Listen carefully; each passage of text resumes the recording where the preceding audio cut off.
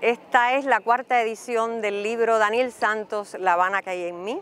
Y es también un canto de amor a la comunión entre Cuba y Puerto Rico, dos islas que han toda la vida han aspirado y en el caso de Cuba concretado su independencia y es la aspiración del hermano, eh, de la hermana isla antillana de Puerto Rico. Este personaje es también un pretexto para, para recorrer la vida de La Habana durante los años 1946 al 61, que Daniel Santos llega a La Habana y de ahí se alista con la gran Sonora Matancera a mm, los grandes escenarios de la vida bohemia eh, cubana. El libro también tiene, contiene toda una, una, investigación histórica realizada en la Biblioteca Nacional José Martí a través de la prensa de la época para ilustrar eh, con datos eh, muy reales y muy, digamos, detallados eh, ese, ese mundo que prerevolucionario que en el caso mío necesitaba conocer más en detalle. Eh, fuimos más allá de lo que nos han enseñado porque somos hijos de dos personas que participaron en la revolución cubana, pero en el decursar de la vida se nos olvida enseñarle a los jóvenes tantas cosas. Es también un libro que va de, todos los personajes eh, de la vida musical cubana.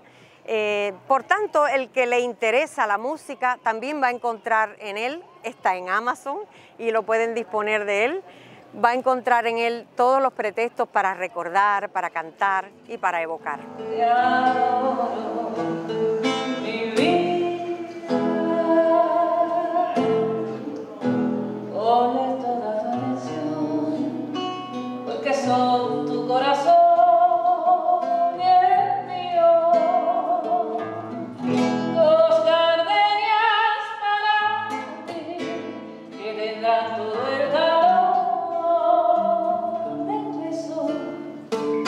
Daniel Santos es un músico, intérprete y cantautor de más de 300 canciones, llegó a componer, que cuando llega a La Habana encuentra justamente el escenario perfecto para su eh, proyección internacional.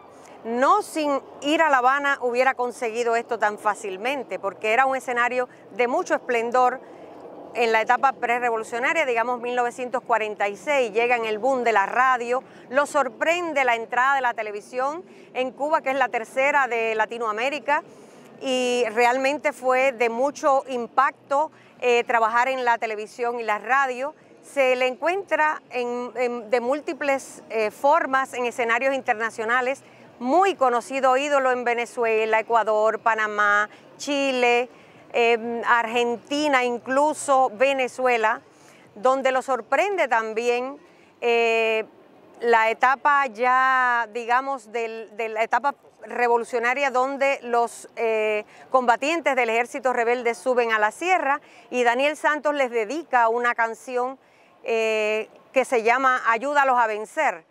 pueden escucharla, está en YouTube.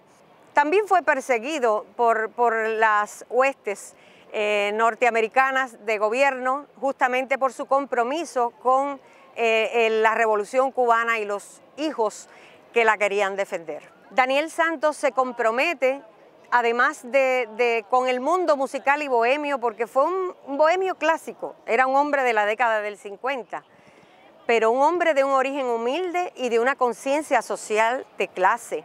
Por tanto, estar en La Habana, en ese proceso de cambio, hace que él catalice mucha, mucha conciencia a favor de lo que estaba produciéndose en Cuba.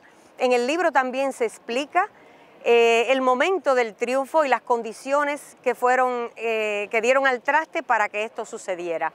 Por tanto, es un libro de historia y de música, imprescindible para mí si quieres saber qué pasaba en La Habana.